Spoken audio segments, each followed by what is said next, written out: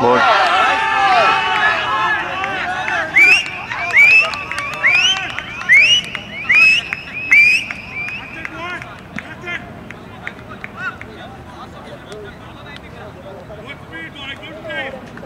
Yeah,